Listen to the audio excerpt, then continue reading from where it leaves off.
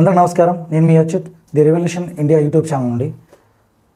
ఈరోజు ప్రపంచం మొత్తం కూడా భారతదేశం వైపు చూస్తుంది. దీనికి ఒకటే రీజన్ ఏంటంటే ఇస్రో.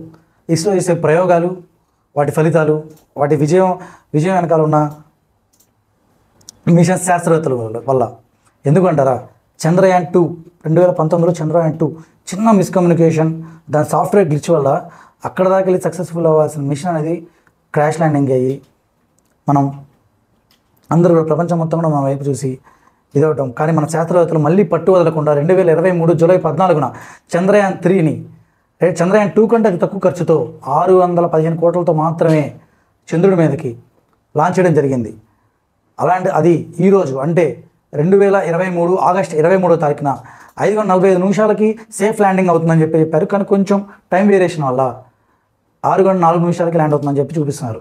అది కానీ సక్సెస్ సక్సెస్ఫుల్గా ల్యాండ్ అవ్వాలని అందరం కోరుకుందాం. భారతదేశంలో ఉన్న ప్రతి ఒక్క నూట నలభై ఐదు కోట్ల జనాభా చూపు కూడా దీనివైపోయి ఉంది. అందరు అందరూ కూడా సేఫ్ ల్యాండింగ్ అవ్వాలని చెప్పేసి అందరూ కూడా దేవు దేవుళ్ళని కోరుకుంటం జరుగుతుంది.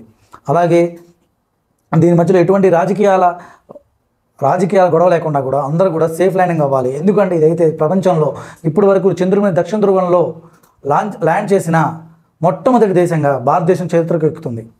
దీనికి కేవలం మన శాస్త్రవేత్తలు వాళ్ళ యొక్క కృషి పట్టుదల మాత్రమే దీని వెనకాల ఉన్నాయని చెప్పేసి మనం చెప్పుకోగలం. అలాగే మనకి ఇస్రో వచ్చేసి పంతొమ్మిది వందల అరవై రెండులో స్టార్ట్ చేయడం జరిగింది. దీని మొదటగా Indian national committee for space ఆర్గనైజేషన్గా ఉంది. దీని తర్వాత పంతొమ్మిది వందల అరవై తొమ్మిదిలో దీన్ని ఇస్రోగా చేంజ్ చేశారు పేరుని. దీని తర్వాత అలాగే మన ఇస్రో ప్రపంచంలోనే రిమోటిక్స్ సిగ్నల్ రిమోట్ సెన్సింగ్ ఉన్న అతి పెద్ద ఆర్గనైజేషన్గా ఇస్రోనే ఉంది. దీనిలో గగన్ అండ్ ఐస్రానెక్ అనేది మాత్రం ఉండడం జరిగింది.